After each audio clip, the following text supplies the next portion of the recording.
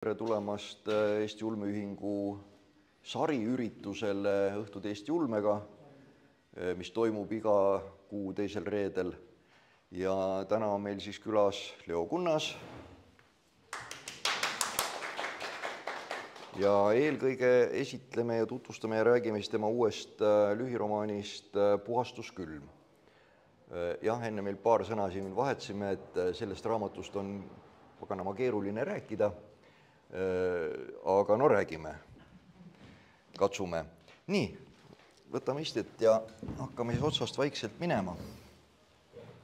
ja, ja siin just arutasime, et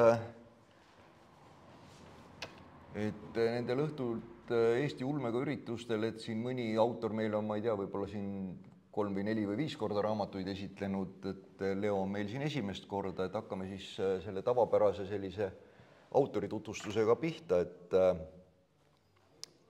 et enne, kui ma selle kirjutamise ja, ja ulme ja selle juurde lähen, paari sõnaga lihtsalt ole hea, et tutvusta ennast. noh, ma olen sündinud neljateistkümnendal novembril tuhat üheksasada kuuskümmend seitse, pärit siis väikesest Klõima külast Võru maakonnas. mul on selline üpris huvitav ja värvikas elulugu, mida ma siin ei hakka kõike üle rääkima ja see osalt peegeldub ka minu raamatutes. muidugi ma olen Kaitseliidu asutajaliige ja pikalt teeninud Kaitseväes ja praegu Riigikogus teist koosseisu. olen abielus ja mul on kolm last, et vanem juba ülikoolis ja noorem keskmine läheb kaitseväeteenistusse nüüd juulis ja noorem lõpetas põhikooli et sellised põhimõttelised faktid iseendast, et see on mul siis kaheteistkümnes raamat, et neid ongi siis kontol kaksteist raamatut ja üks filmistsenaarium ehk siis film tuhat üheksasada nelikümmend neli. et see võib-olla võiks olla selline minu eluloo lühitutvustus. ma tegelikult äh, jah, valmistasin ette kohe niisuguse küsimuse, mida sa otsapidi võiks öelda, vist ka puudutasid, aga, aga mina lugedes, ma ütlen kohe ära, et et ma võtsin kaasa siis ka need kaks raamatut, Sõdur jumala teener ja Sõda kaks tuhat kakskümmend kolm, see on siis see kahe, kahepidine Taavet ja Koljat. sest nad on siin täna põhjusega, need kaks raamatut, selleni me ka jõuame. aga neid lugedes ja, ja vaadates Vikipeedia artiklit sinust ja ma jõudsin mingil hetkel nagu sellise tõdemuseni, et äh, selle tänase peasüüdlase raamatu nii-öelda puhastuskülma peategelane on siis äh, Peeter Tergens. ja, ja mul tuli selline mõte, et kui nüüd üritada kirjutada Peeter Tergensi eluloost Vikipeedia artiklit, siis kukub paratamatult välja artikkel Leo Kunnasest. Äh, et taust sarnane teatud eluloolised seigad, mis sealt läbi jooksevad, noh, ütleme selles suures sinipunases raamatus see mm, eraelulised teatud seigad, et noh, kattuvused on, on väga suured, et kui, kuidas see vahekord on, et kui, kui palju siis selles Petsis, nagu ta alguses on, et kui palju temas siis lõpuks sind on? no mingis mõttes ta loomulikult on teatud alter ego, aga mitte päris, et kunagi võib-olla Peeter Terges on Leo Kunnastest natuke parem kui Leo Kunnas ise, et, et võib-olla ma ei ütleks, et ta oleks nagu mingi võib-olla natukese idealiseeritum kujutus, kujutluspilt minust, aga aga kahtlemata ma olen iseennast ja oma mina selle raamatu või selle triloogia loomisel kahtlemata ma olen kasutanud seda, sest noh, ikkagi kõik, mis kirjanik kirjutab, see väljendab tema enda olemust. ja mis nüüd ongi huvitav, huvitav asi juhtunud, et kui Sõdur jumala teener, kus siis see triloogia algab, on, on puhtalt realistlik raamat. see on lihtsalt realistlik romaan, noh, selle raamatu juures on ka siin lühiromaan Kustumatu valguse maailm juures, mis on mis on eraldi. ja see on realistlik romaan, siis see Sõda kaks tuhat kakskümmend kolm, mille ma kirjutasin aastail, aastail kaks tuhat viisteist, kuusteist ja mis siis ilmus esmatrükis kaks tuhat kuusteist jõuludeks, et see võiks olla, noh, ta on teatud mõttes klassikaline ulmeraamat, et, et selline, selline nagu noh, ei saa öelda, et puhas sci-fi ulme, aga aga ulmeraamat on, sest need sündmused pole ju toimunud, nad on kujutluslikud ja aga samas siin, siin noh, loomulikult siin on ka palju realistlikku nagu tagapõhja, aga nagu ma ütlesin, et, et nüüd võib seda mõlemat poolt võrrelda sõjaga, kuidas see tegelikult välja näeb. ja see punane stsenaarium peegeldab väga palju näiteks seda, kui te vaatate, et kuidas toimus Mariupoli piiramine ja mis seal juhtus, kaua see kestis, siis siin on väga palju, väga palju sarnasusi punase stsenaariumiga ja loomulikult praegu ongi küsimus, et kas üldse on võimalik noh, nii täpselt sõda nagu ette näha. Ja sinine stsenaarium omal ajal selle kohta noh, avaldati suuremat imestust kui punase stsenaariumi üle, sest siin sõja käigus, mil Venemaa siis tungis kallale Ukrainale ja Baltikumile ühe korraga, siis kahe tuhande kahekümne kolmanda aasta septembris, siis rinne peatus Narva jõel. ja kõik ütlesid, selline asi ei ole võimalik. ja noh, muidugi pärast seda, kui Ukrainas juba kahe tuhande kahekümne teisel aastal rinne oli olnud Siverski Donetsi jõele juba, juba mitu kuud, siis noh, saadigi aru, et sõda võib ka nii toimuda. ja see sõda ongi siis, siis niiviisi toimunud ja, ja igaüks saab ise lugeda ja võrrelda ja vaadata, et et kas see sõda siis on selline, nagu ma ette kujutasin, või ta siis erineb sellest ja, ja mind on äh, ennast tegelikult äh, hämmastanud ja teatud mõttes ka isegi ehmatanud, et kui sarnane see sõda tegelikkusega võrreldes on, sest tegelikult ei peaks olema võimalik midagi sellist äh, ette näha. ja siis kolmas raamat nüüd, Puhastuskülm ehk siis see on mõtteline järg selle punase stsenaariumi, punases stsenaariumis on, ka sinises mõlemas stsenaariumis on neli tegelast, Peeter Tergens on üks neist ja see on siis, järgneb,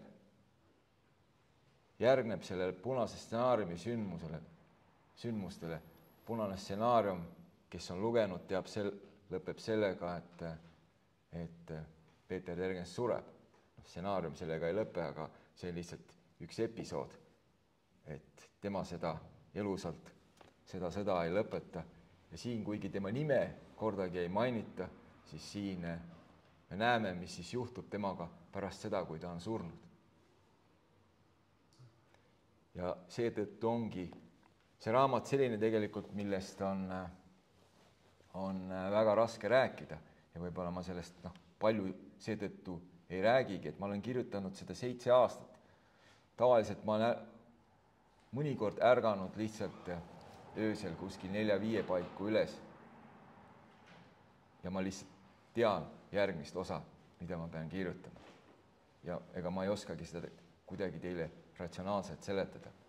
et ma lihtsalt näen neid pilte või olen näinud neid unes sellisena ma olen lihtsalt püüdnud neid kirjeldada siin nii hästi, nagu ma olen osanud ja neid on tulnud nagu vahepeal rohkem, vahepeal vähem.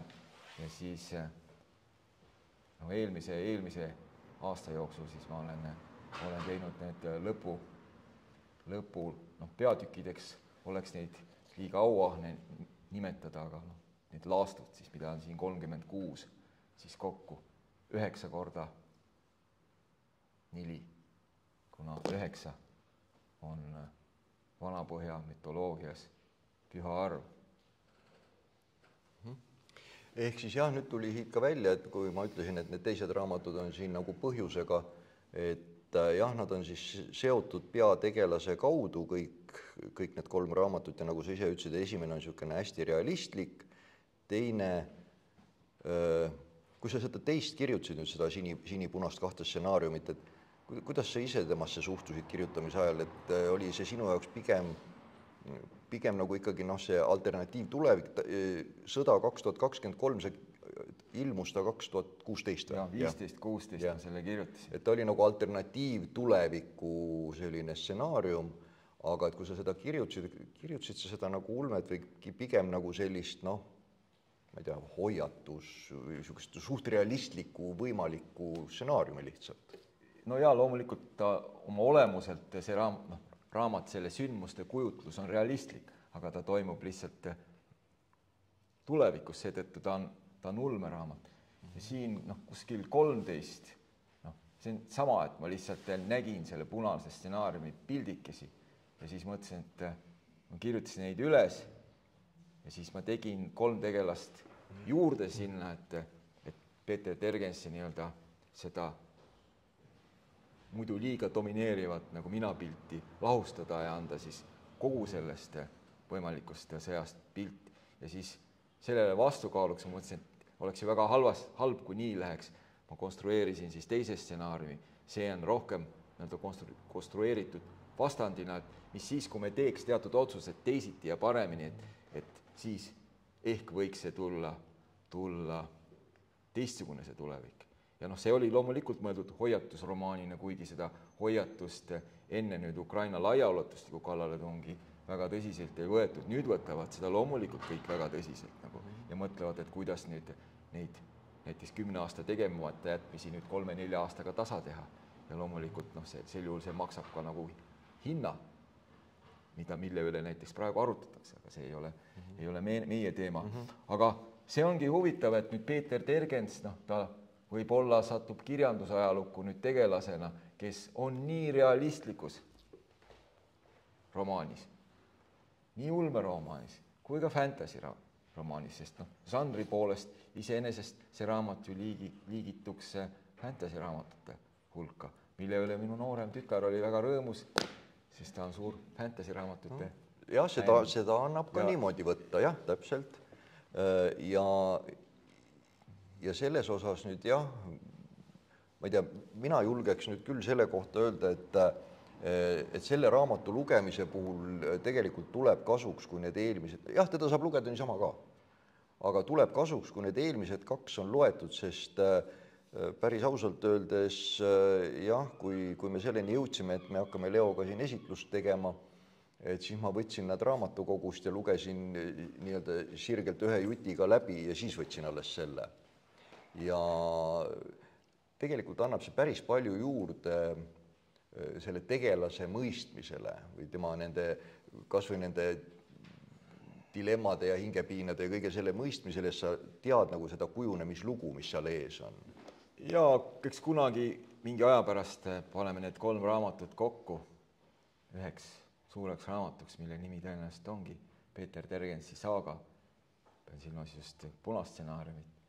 Ja noh, siis, siis ta on sellisena nagu selline tervik, omaette tervik, aga mm -hmm. noh, sinna, sinna, sinna ilmselt ka kunagi jõuame mm. -hmm. ja kui sa ütlesid, et sa seda hakkasid kirjutama kaks tuhat seitseteist, et noh, see punane stsenaarium ilmus kaks tuhat kuusteist ära, et sisuliselt kohe peale seda ja. sa, sa võtsid selle ette ja hakkasid nagu otsast edasi tegema Mm -hmm.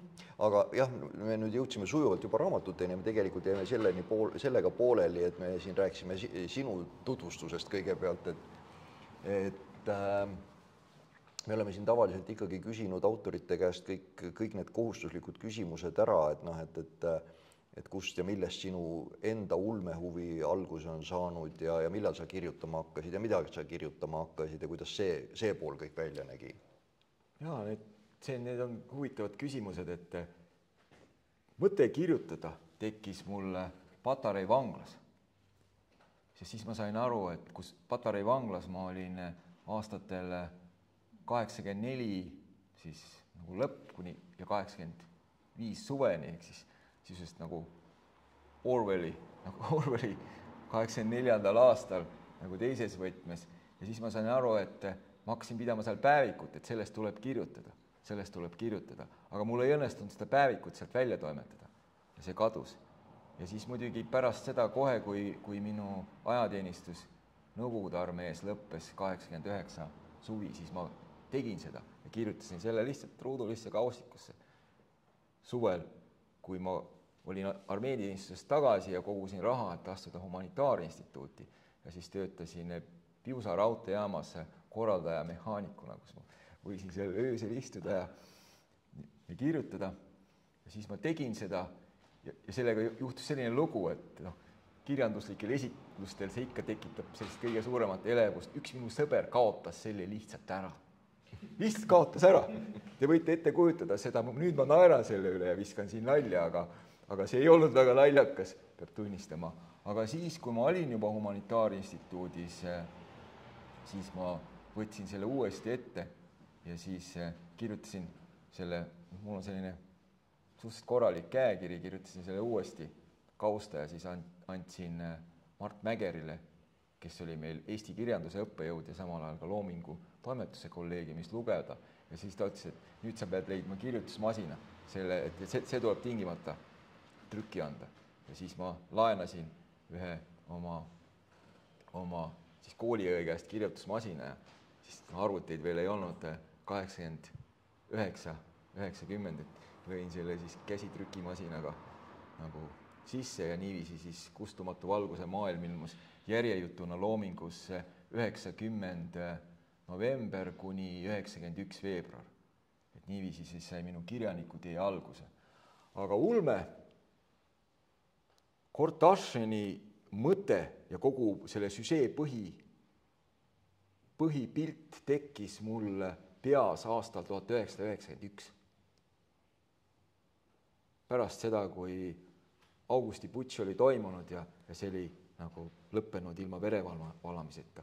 ja lihtsalt eh, kuskil septembris-oktoobris mingi moment eh, see süžee lihtsalt tekkis mul. ja kuna see tervik tekkis kohe, siis mul oli ka võimalus kirjutada nii-öelda, kuna seal on kolm reaalsust, et, et tavaliselt noh, palju ulmeraamatuid on sellised, kus alguses on mingi üks reaalsus ja kui lugeja sinna süveneb, siis avaneb selle taga teine. aga noh, Kortašin on selles mõttes huvitav ulmejutt, et, et kuna kogu süžee oli tegelikult mul teada suures joones, aga loomulikult mitte detailis, siis, siis ma võisin selle niiviisi teha, et, et, et siin ongi, siin ongi kolm reaalsust, ehk siis igas osas avaneb uus reaalsus, et, et, et mis, mis siis toimub. Ja seda muidugi ma mõtlesin selle kallal, kui ma olin teenistuses, mul ei olnud väga aega midagi sellist nii suurt ette võtta ja ma olin äh, kaitseväeteenistuses äh, kahe tuhande seitsmenda aasta sügiseni, mille ma siis lõpetasin äh, peastaabi operatiivosakonna ülemana. ja kui ma teenistusest lahkusin, siis ma olin selle kallal nii palju mõelnud, et ma kirjutasin selle raamatu kolme aastaga, kaheksa, üheksa, kümme, iga aasta siis ühe osa ja see, kui see raamat on kaheksakümmend kuus tuhat tähemärki, siis Kortašini maht on üks miljon üheksasada nelikümmend neli tuhat viissada tähemärki, esimene versioon, nüüd ma natuke parandasin, aga see ei muutunud, ei muutunud nagu palju, ehk siis, siis see on, see on nagu mahukas raamat ja võib-olla mõned fännid ka ei ole seetõttu rahul, et võib-olla mõned asjad on liiga detail, detailsed, aga sellisena ma selle tegin ja siit nagu algas minu, minu siis teekond nii-öelda ulmekirjanikuna, et ja siis sõda kaks tuhat kahekümne kolme kirjutamisest ma juba, juba rääkisin, et kuidas ma selle tegin. ja, ja, ja nii, nii ma siis siiani jõudsin. kui sa seda Kordašinit juba mainisid, et äh, paranda mind, kui ma nüüd eksin, aga minu meelest pärast Kordašinit äh, sa mingisuguses äh, kas kuskil äh, intervjuus või kuskil äh, nagu ütlesid, et nii, korras, ulmega on nüüd kõik, ma olen oma ulme ära kirjutanud ja noh, edasi läheb ikka see nii-öelda realistlik asi ja, ja ometi tuli sõda kaks tuhat kakskümmend kolm, nüüd tuli puhastuskülm, et see peavool ja realism ikka jääb sinu jaoks kitsaks? tundub nii, et noh, muidugi ma olen töö, teinud tööd ka vahepeal ühe ajaloolise romaani kallal, mille töö pealkiri on mul olnud Heade aegade loo, loojang, mis on peaaegu sama paks lõpuks või peaks välja tulema nagu Kort Aschen mis räägib siis Põhjasõjast ja sellele eelnevat, eelnenud sündmustest, aga ma lihtsalt ei ole selle kallale nagu pääsenud ja, ja, ja noh, vahepeal on ka tunne, et see, mis ma kirjutan, et see mind päris ei rahulda, et et, et sellega noh, ei, ei ole, ei ole ma viimasel ajal palju edasi jõudnud, sest, sest see ikkagi nõuaks aega, et et noh, Riigikogus võib noh, loomulikult teha mitut moodi tööd, et seal võib ka lihtsalt nagu istuda ja istungitelt puududa, aga ma vist eelmises koosseisus olin, kas olin teiseks parim, parim kohalviibija, et, et mul ei ole nagu, nagu soovi, et, et, maksumaksja maksaks mulle palka millegi eest, mida ma ei tee, et et seepärast ma ei ole, ei ole sellega edasi jõudnud, noh, võib-olla jõuan, võib-olla mitte, ma ei oska seda nagu hinnata, et seda näitab aeg, aga aga aga selles jah, et, et, et, et pigem tõesti, et ma võin öelda, et ma olen realismist kaugenenud mõnevõrra. mis teeb meile muidugi rõõmu. Jah, jooksid siit need paar, paar sellist eluloolist lauset juba läbi ja kui ma enne ütlesin, et see Vikipeedia artikkel Peeter Tergensist ja sinust tuleks suht sarnased, et et tegelikult see sõdurjumala teener ju ju, ju räägib ka neid sarnaseid eluseiku, ehk siis ka Peeter Tergens istub patareis ja ka Peeter Tergens on Vene kroonus vangivalvur noh, ikka, ikka needsamad niisugused põhi, põhiasjade kattuvused, eks ole, jooksevad, jooksevad läbi, et kus sul see kogemus on nagu ikka endalt võtta, mis sa sinna sisse oled kirjutanud. et äh, teadsid ikka kõik neid fakte või ei teadnud? äkki sa ütled ära, mille eest sina ja Pets kinni istusite? no põhimõtteliselt neid asju oli mitu, et kõigepealt äh, Nõukogude Liidu riigipiiri ebaseaduslik ületamine, siis põgenemine vahi alt, siis tulirelvade omamine ja kõik see lõpuks kokku andis eh, kahe kohtuotsusega, millest üks oli siis Eesti NSV ülemkohus kolm aastat, millest ma siis eh, kaks aastat, kolm kuud umbes ära istusin. tulin sealt tagasi ja, ja võiks öelda, munsterdasin ennast, ennast Nõukogude armeesse kus ma siis äh, tegin läbi ajateenistuse sisevägede OSNAS-is, mis on siis siseministeeriumi eriüksus. ja kas mitte seal Nõukogude armees nagu vangla staatusega ei võetud või võeti? no loomulikult ei võetud, aga sõjakomissar väikese annetuse eest Nõukogude riigikaitse hüvanguks, mille suurus oli viissada rubla, puhastas üleliigsed asjad ära ja pärast loomulikult see tuli tagantjärgi aga Nõukogude armees kedagi koju ei saadeta, et seda luksust nagu, nagu, nagu, nagu ees ei oota, et, et muidugi noh, kui pataljoni ja roodu sampoliidid mõlemad selle, sellest nagu teada said, siis noh, kui, kui, kui mul poleks sellist nagu noh, roodukat umbes nagu Peeter Tergens siin kirjeldab, siis ma arvan, et mul oleks läinud üpris halvasti, aga lõpuks noh, lõpuks te ju näete, et mis praegu kõik see, mis Nõukogude ajal oli, see on arenenud edasi lihtsalt veel hullemas suunas, et kui Ukrainasse võetakse sõdina kümneid tuhandeid vange ja see ei ole mingi probleem, siis noh, siis noh, kogu selle süsteemi nagu juured ju noh, olid olemas ka sellal, et kui sa olid juba kohal ja olid fašist, siis sa võisid ka ju olla nagu naš fašist, meie fašist. nii, kaks küsimust oli seal vahepeal näha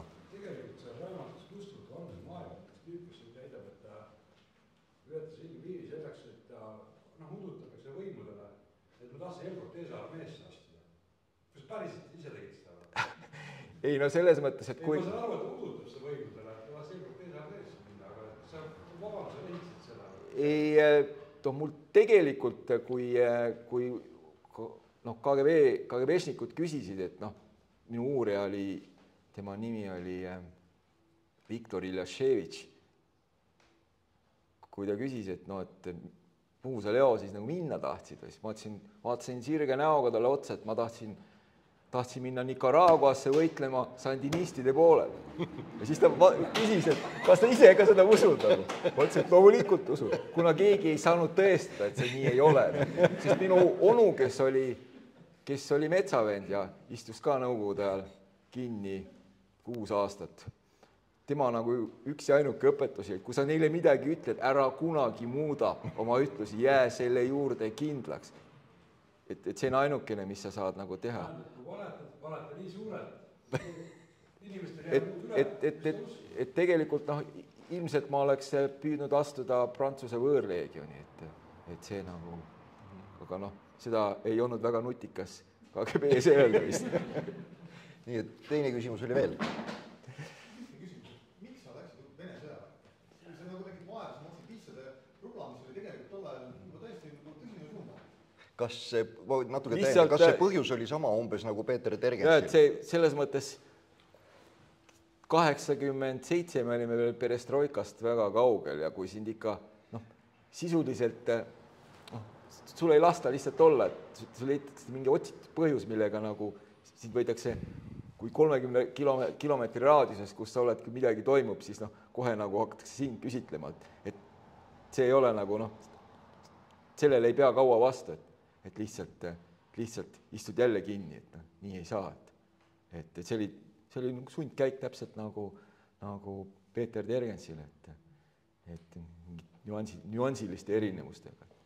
et see ongi jah, nagu see, et, et lugeda et sedasama kaks võimalust, kas minna metsa, noh, potkad näit-, läk-, läksid metsa, aga noh, miks ma metsa ei läinud, oli see, et et ma kartsin lihtsalt seda, et seal ei ole võimalik nii kaua ennast varjata, et keegi sind üles ei anna. et see lihtsalt ei kesta ära nii kaua, et, et muidu see, see oli teine alternatiiv, alternatiiv, et kas lähed metsa või siis eh, leiad mingi muu võima-, muu võimaluse, kus, kus sa kaotad tä-, hangid täiesti uue identiteedi, noh, nagu, nagu Peeter Tergens üritas siin, või siis, või siis leiad mingi koha, kus nagu, nagu noh, sind teoreetiliselt ei otsitaks nagu et jah, et see ongi nagu see kentsakas, et kui sa võtad selle Vikipeedia artikli ja loed, seal on kaks järjestikust lauset, eks ole, et üritas välismaale putkata ja oli patareis ja sealt välja tulles astus vabatahtlikuna Nõukogude armeesse vangivalvuriks, et siis noh, juhe jookseb kokku, kui eh, sõdurimara teenri oled läbi lugenud, siis sa hakkad sellest loogikast aru saama, et noh, et mis, mis seosed ja mis seal, mismoodi need asjad kokku käivad ja miks see põhjus on, ma sellest oli,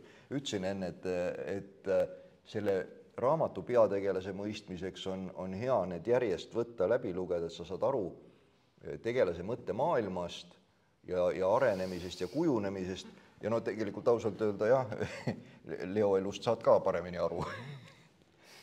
Aga mis ma vahepeal tahtsin veel küsida sellesama teema jätkuks, et kui sa ütlesid seda Piusa raudteejaama, et kas sealt on pärit siis need, kõik see vahepealne raudteetarkus, mis seal peategelasel ka esimeses raamatus läbi jookseb? no tegelikult eh, ma sain sealt koju üsna lihtsalt, et et Valga külmvaguni tegelased võtsidki mind nagu rongi peale, aga see tundus liiga lihtne, et ja lugejale natuke ebahuvitav stsenaarium, et et et natuke see tuli, tuli värvikamaks muuta et jah, see Piusa raudteejaama lugu haakus kohe jah sellega, et okei okay,, selge. ja peategelane kirjutab ka päevikut, nagu sa ütlesid, et sa ise kirjutasid neid asju üles. et ähm, okei okay. äh,. Lähme siis nüüd natukene lõpuks selle, selle raamatu juurde ka, mille pärast me siin oleme. aga mitte otsest, noh, ikkagi seesama teema, et sellest raamatust on, on keeruline natuke rääkida aga, aga ma lähen jälle selle peategelase kaudu natukene sinna praegu. ja, ja kui ma lugesin ja, ja siis õnneks tegelikult oli niimoodi, et ma lugesin päris ausalt öeldes ikkagi selle puhastuskülma kõigepealt läbi ja siis võtsin need ja siis lugesin uuesti seda puhastuskülma. muidu ma ei oleks pannud teatud asju siin varasemates raamatus lihtsalt tähele. ja ma leidsin sealt niisuguse huvitava asja, et, et see sõdurjumala teenri Pets on oma teekonda alustades selline noh, viieteistaastane nolk, eks ole. ja, ja, ja juba siis ta ütleb seal selle oma selle kapteni, kes oli tema selline noh, kuidas öelda, mentor või eeskuju, ütleb selle kapteni sõnadega, et elu on kõrb, parem on minna, jälitada miraaži ning lõpuks nõrkenuna liivale lamama jääda, veepudelid tühjad, kui paigal istuda ja eluaeg oodata midagi, mis mitte kunagi ei juhtu. ja noh, natukene puhastuskülmas ta midagi sellist ju teebki, see lõputu minemine noh, läbi omamoodi kõrbe, mitte küll selle sõna otseses tähenduses. ja, ja teises kohas sealsamas sõdurjumala teenris lased sa ühel vangil Petsile öelda, et valu, külm, nälg, need on illusioonid. ja teises kohas sõnastab Pets juba ise põrgu, külm, nälg, valu ja üksindus ning sa ei saa surra. Põhimõtteliselt on see selle raamatu kokkuvõte. et kas sa jah, nagu sa, ütlesid küll, et sa hakkasid kohe pärast, pärast seda punasinist sõda kaks tuhat kakskümmend kolm seda kirjutama, aga need laused tekitavad tunde, et sul kuskil oli see algusest peale nagu plaanis või? ausalt öeldes mitte seda, et see on lihtsalt, kes on kristlased, neil on ettekujutus, mis asi on kristlik põrgu. Et kes ka ei ole, on vähemalt sellega üsna kursis, et, et Vana-Põhja mütoloogias põrgu on hoopis teistsugune. et see, mida, kui Peeter Tergens on jõudnud usuni ja hakanud uskuma Oodinisse, siis on ju selge, et tema ettekujutus põrgust vastab sellele religioonile või sellele ettekujutusele religioonist, mis tal parajasti on. Et, et, see võib-olla on teisest küljest küll võti selle raamatu mõistmiseks, et et kõik, et kõik te teate, mis on puhastustuli, samamoodi see on kristlik termin, mis siis käsitleb vaheastet põrgu ja paradiisi vahel, et need, kes läbi, läbivad puhastustule, võivad jõuda paradiisi. et see, see mõiste puhastuskülm tähistabki sedasama, ainult see põrgu on teistsugune, ütleks siis niiviisi. aga Pets ei olnud ise ju veel, ta oli liiga noor, ta ei olnud ise veel selle Oodini ja Põhja-asjani jõudnud ja kui ma nüüd väga ei eksi, kas see vang, kes talle seda seal ütles, seda valu, nälg, külm, et see oli äkki budist, kui ma nüüd õieti mäletan? jaa, see oli budist, aga muidugi noh, mis tegelikkus erineb, et, et Oodinini tegelikult ma jõudsin juba kaheteistaastaselt, et üsna varakult, et, et ma ei ole kõigest alati nagu võib-olla rääkinud, aga, aga noh, see mõistmine religioonist, noh, mu enda tunnetus on, et, et see on mul küllalt sügav. Ja, ja eks ka selles raamatus. See raamat tegelikult kajastabki minu nägemust religioonist ja Jumalast, kaasa arvatud see, et mis meie oma praeguse teadmiste taseme ja, ja teadusliku nii-öelda saavutuste taseme juures võiksime Jumalast mõista. ütleks siis niiviisi, et meie vaade Jumalale ja kõiksusele on piiratud sellega, mida me teame. ja loomulikult, kui meie teadmised suurenevad, siis laieneb ka meie vaade ja praegu me lihtsalt elame sellisel perioodil, kus me või sellisel ajastul, kus me ei suuda Jumala olemasolu teaduslikult tõestada. ehk siis me ei ole võimelised seda tegema, ehkki küll, ehk kuigi näiteks Albert Einstein on ju öelnud, et ju seda, et miks tema usub Jumalasse, et kuna universumi loomiseks võimalikud kriteeriumite diapasoon on niivõrd kitsas, et siis puhtalt seetõttu ei saa olla universumi tekkimine juhuslik või isetekkimine. et see on, kuhu, milleni jõudis Einstein ja noh, loomulikult see ilmselgelt noh, on objektiivne tõde.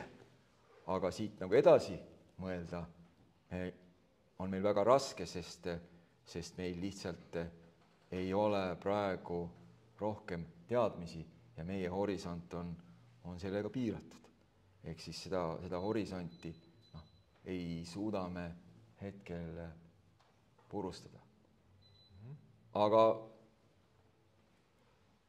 noh, siin raamatus ma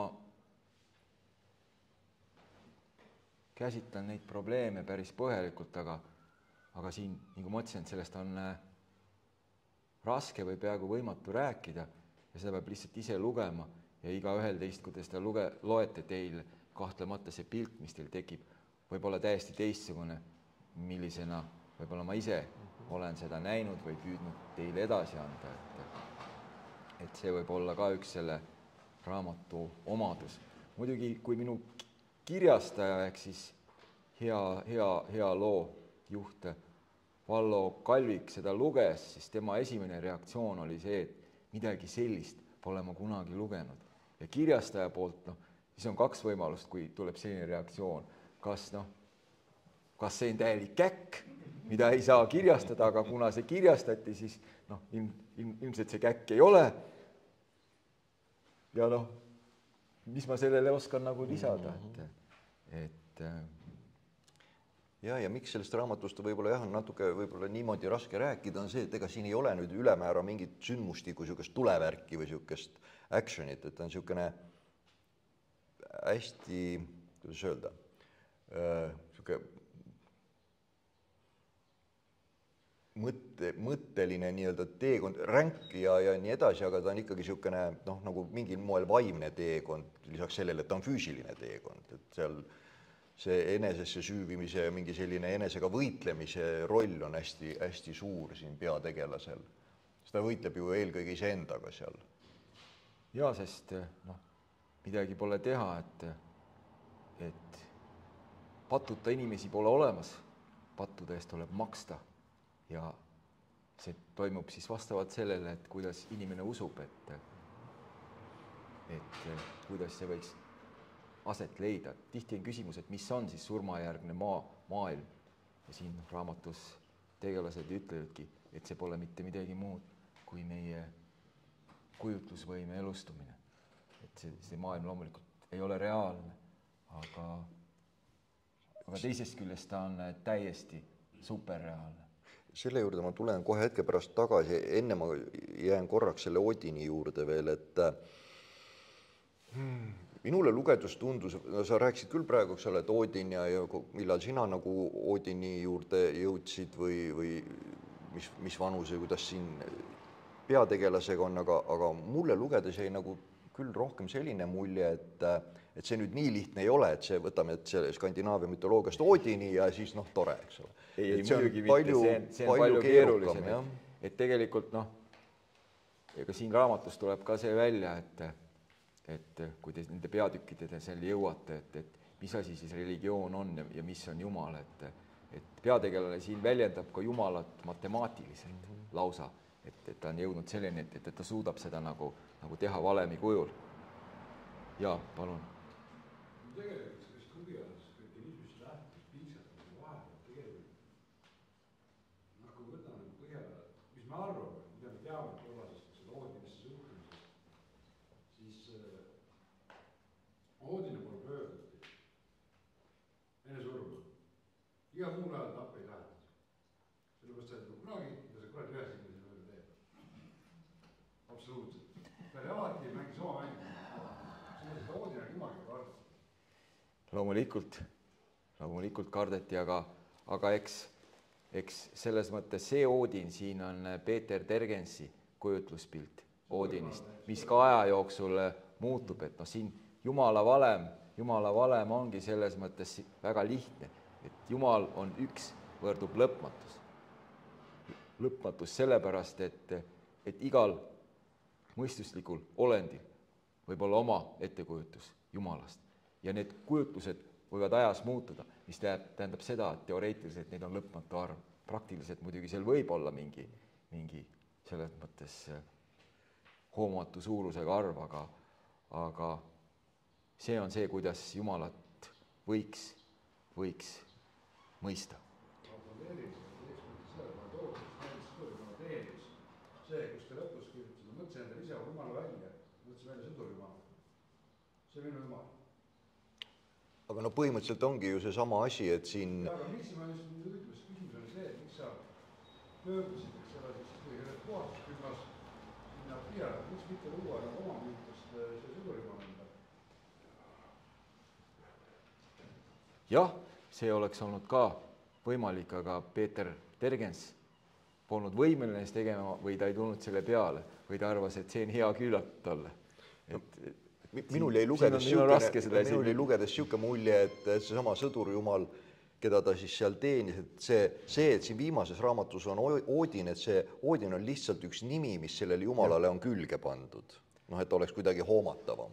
V- võib, võib-olla ka nii, et et, et või võib-olla ka nii, et, et lihtsalt lõpus noh, ka siin, kuhu, kuhu siis peategelane puhastus külmas lõpuks jumala mõistmise, kus enam nimedel ei ole mingit tähtsust, et, et kogu, kogu see mõistmise tasand on, on jõudnud nagu uuele tasandile, kus, kus, kus kõik senised nagu, nagu mõisted on ja nimed on kaotanud nii-öelda oma tähtsuse. et seda, seda loomulikult, et, et see, see näitabki seda nii-öelda arengut, et et kui inimene püüab filosoofiliselt maailma mõista ja, ja, ja mõista ka seda samal ajal religiooni kaudu, siis, siis loomulikult see, see on selline protsess, kus need kujutluspildid ju muutuvad, et, et selge see, et, et seda, mida mina mõtlesin kaheteistaastaselt või kolmeteistaastaselt või mida Peeter Tergens mõtles, minu tegelane sõdurjumala teenris, et, et see ei ole see pilt, mida mina mõtlen täna või Peeter Tergens mõtleb puhastuskülma raamatu lõpus. see, mida Peeter Tergens mõtleb selle lühiromaani alguses, on väga erinev sellest, mida ta mõtleb selle lõpus. see on selles mõttes ka see teekond juba, et, et, kuhu siis seesama Jumal teda nagu oma vaimse maailma kaudu siis suunab, et mida ta peaks siis nagu, nagu leidma ja, ja avastama, et, et, et ja, ja, ja see, see, see on nüüd see koht, kus meil oleks ilmselt äh, Friedenthali vaja siia, kes natukene meil, meid hariks igasugustes nendes küsimustes, et minule tundus ka lugedes, et et need erinevad äh, religioonid äh, ja need religioonide nimed, eks ole, et mis siis mis on, et et kõige lähemale me hakkame jõudma mingisuguse panteismi ja pananteismiga, ehk siis need on need, et Jumal on kõiges ja kõik on Jumal, need kaks erinevat vaadet, aga minu meelest see jääb ka lõpuks kitsaks veel selle asja ja. jaoks. ja, ja siis on nagu see, et, et mulle tundub, et Pets on mingil määral fatalist. Ehk siis noh, see, mis kuskilt tuleb, see, sellega tuleb hakkama saada, eks ole, et ei no, ei no siin on duaalne käsitlus tahtest, duaalne selles mm -hmm. mõttes, et inimesel on vaba tahe peaaegu kõiges, välja arvatud selles, mis Jumala plaaniga ei kattu mm. -hmm. et Jumal sekkub mõnikord ja, ja sinna ei saa midagi teha, et iga, igaüks teist on võib-olla märganud, et kõik asjad lähevad kuidagi, aga siis on mingi asi, mida ei saa lihtsalt teha. ei lasta, ei lasta. Kes rohkem, kes vähem, et sest jah, tahe on tal juba algusest peale, eks ole, tahe on tal hästi tugev, aga, aga et jah, kuskilt tuleb see osa, kus hakkab see kõrgem plaan sekkuma, eks ole, et äh, okei. Okay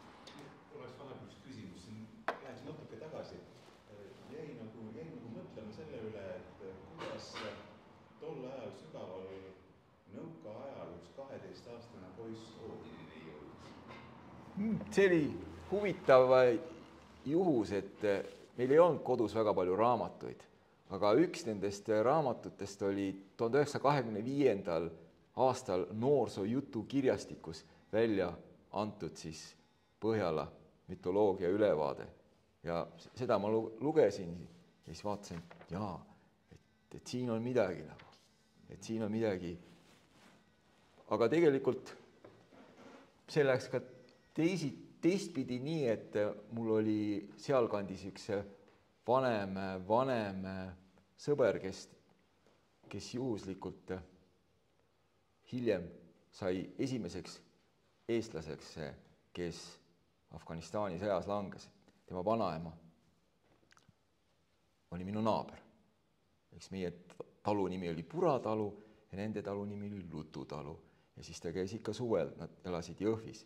Ja siis ta oli väga intelligentne poiss ja, ja kui ta oli gümnaasiumis, no siis mina olin väike poiss, ma olen kuuskümmend seitse sündinud ja, ja tema kuuskümmend, et siis ta põhimõtteliselt luges läbi kogu religioosse kirjanduse, kaasa arvatud piibli ja kõik.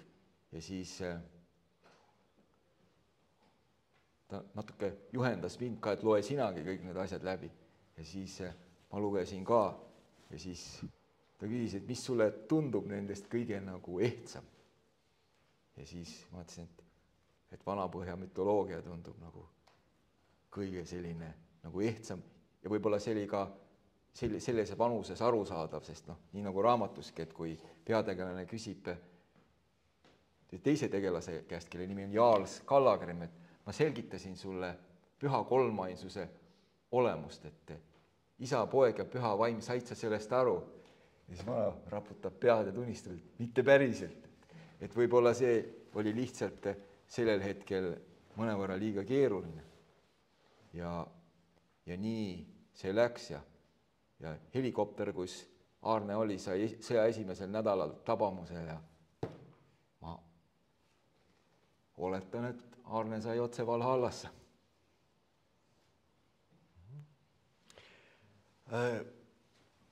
tule, ma tulen korra tagasi sellesama vahepeal kõlanud lause juurde, et et, et eks meil kõigil on oma patud ja siis kuskil tuleb neid lunastada ja tema, tema siis oli seal puhastuskülma maailmas.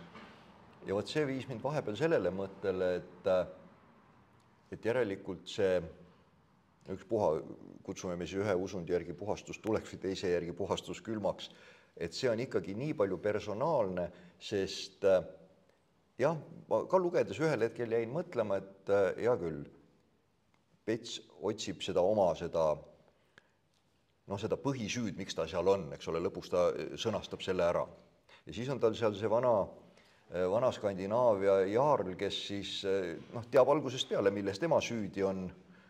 ja siis on seal, okei okay,, üks kamp on veel, ma ei, isegi ei ütle, mis kamp seal veel on aga ei saa ju olla, et see maailm on nii tühi, kui me kõik oleme patuga, et see on siis nii-öelda personaalselt Petsi selline puhastuskülm, kus on mingisugused elemendid tema pärast ja tema jaoks või?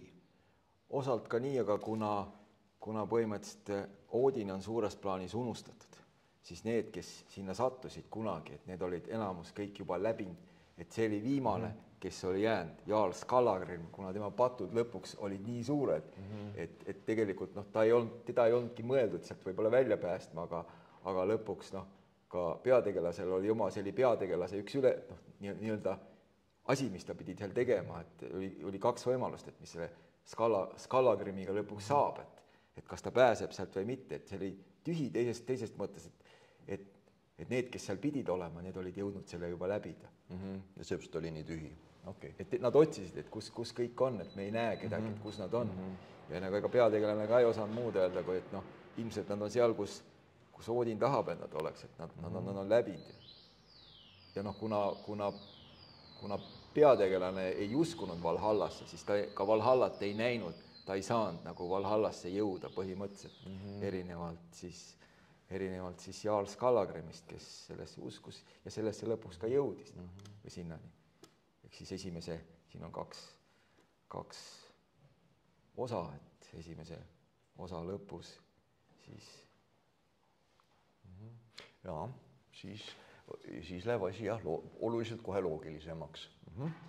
ja siis teine niisugune asi, mis ei noh, seal, seal ongi see, see moment, kus peategelane mõtleb, et kui, kui Jaar Skallagrim pidi mind siin tuhat kakssada aastat ootama mm, -hmm nagu selg verekotkaks lõigatud nagu, ta, teda seal keegi ka ei aidanud, siis et noh, et mi, miks ma peaksin siis millegi üle kurtma, mis minuga siin juhtub, et noh, et mul ei ole väga nagu õigust seda nagu teha, et, et kui, kui nagu seal teise, teise võitleja, surnud võitleja noh, kannatused on nagu sedavõrd suured. jah, sest hästi-hästi paljuski see tegevustik äh, käib siis noh, nii füüsiliste kui vaimsete kannatuste noh, baasilt nagu, eks ole. järjest raskemad, järjest raskemad proovikivid mm, -hmm. et, et, et kõik, kõik, kõik nõrkused mm -hmm. proovitakse läbi ja vaadatakse, et mida siis, neil on erinevad võimalused tegelas, tegelastel käituda seal, et mm, -hmm. et ja, ja surma ei ole, sest nad on juba surnud. Nad on juba surnud, surra nad ei saa, kuskile ei ole põgeneda, et siit Mi ei põgene. ja mis oli huvitav, et see on ka niisugune parat niisugune noh, kas nüüd rafineeritud või niisugune huvitav Odini käitumine, et äh, et mis oli huvitav, oli see, et nad äh, ei saanud küll surra, aga, ja, ja, ja tänu sellele siis teatud noh, ütleme siis niimoodi, et vigastused või asjad taastusid, eks ole. ja samas, mis oli huvitav sisuliselt nagu Valhallas, jah, aga mis oli huvitav, oli see, et kui Jaarl oma varbad ära sõi, siis need ei taastunud. et ta ei saanud neid uuesti süüa jaa, et, et, et, et, et see muidugi siin, et, et teatud momentidel saab ainult teine keegi mm -hmm. aidata, et kui, kui Jarl Skallagrim oli lõ- lõigatud verekotkaks, siis ta ei saanud ise sellega nagu midagi teha mm. -hmm. et siis ta pidi, pidi ootama, kuni, kuni siis peategelane teda aitas. ja samamoodi, et kui peategelane, peategelase nägu oli ära põlenud, et tal ei olnud nagu nägu ja silmi, siis, siis pidi, selleks pidi esimest korda Skallagrim ta maha laskma, et ta muutuks, muutuks eh, siis normaalseks tagasi mm. -hmm. Et, ja noh, seal kohe alguses ju tuleb ju tegelikult ka, ka see, see viide, viide Jarl Skallagrimi pattudele, kus ta ütles, et ma tean, et miks sa siin oled, et ma pidin su ära ootama, et sa saaksid mind ära süüa, jõudu koguda ja edasi minna, et, et see minu ainus funktsioon, tapa mind nagu. Ja siis ütlete, et sa, et sind ei saa tappa, et see, see ei ole võimalik, et, et sa ei pääse siit nii kergelt, et noh, et, et, nii see ei lähe siin, et. Äh, täiesti küll asjasse puutumatu seos, aga, aga natukene pani mind muigama. Äh, oled sa juhtumisi lugenud äh, Tamur Kuznetsi Kronošütisti, ei ole? ei ole jõudnud veel et lihtsalt, mis minul, mind nagu muigama pani, kui te nüüd mäletate, kui see kronošutisti esitlus oli, et siis oli seal juttu sellest, et, et mingites detailides Tamur läheb hirmus põhjalikuks ja siis see tema see seljakoti pakkimise lõik, eks ole, et mida kõike sinna mineviku neandertallaste juurde siis tuleb kaasa võtta ja kui üksikasjalikult kõik see varustus tuleb ära kirjeldada ja ja siis, kui puhastuskülmast äh, lugema hakata, siis esimesel leheküljel kohe on, on see, eks ole, et peategelane siis on, on, on oma seljakotiga seal, tegin oma seljakoti lahti, leidsin sealt neli saja padruniga lindikasti, käsigranaate ja kümmekond kilo lõhkeainet, ainult lahinguvarustus, toitu ei olnud grammigi, ka ellus jää-, ellujäämisvarustust mitte, ei priimust, magamiskotti ega telki. nii raske kandamiga polnud lootust kusagile jõuda, pidin selle maha jätma mina polnud seda seljakotti pakkinud see pidi olema mõne hullutee oli järgmine lause. et keegi ei lähe selle, sellise seljakotiga kuhugi, välja arvatud see, kui talle see määratakse. ja siis ta püüab muidugi noh, vabaneda sellest seljakotist, ega see ei ole võimalik lihtsalt. et, et jah, niisugune huvitav seos ja tekkis. Skallagrim püüab vabaneda oma suurest kogusest Araabia hõbemüntidest, viia tal kokku ahvi ja ta ei saa nendest vabaneda. aga kui ta annab, ütleb, et annab need peategelased, noh, võta, et võta endale nagu, siis kui tema võtab nendest, viskab lihtsalt minema, et, et et mm, -hmm. et kas sina ei kogunudki siis varandust? ei, et mina varandust ei kogunud, et noh, iga, iga, igaühe koorem on täpselt, täpselt selline, mis, mis ta ise on kogunud, et nii, vaatan, et äh, meil hakkab, hakkab tasapisi see ring peale saama, ega mul hakkavad küsimused ka varsti otsa lõppema, mul ongi enam-vähem üks niisugune mm, viimane, viimane niisugune pikem, pikem arutelu küsimus, noh, mis iganes. ehk siis äh, kui ma seda asja jälle niiviisi lugesin ja järjest koos nende teistega, ja nüüd me jõuame jälle sinna selle äh, suure plaanini, jumal, jumala, jumala, jumal, ma isegi ei ütle jumala, jumaluse, selle noh, selle hoomamatu suure jumaluse suure plaanini. et, et seal lõpus on minu jaoks üks sihuke huvitav, huvitav moment.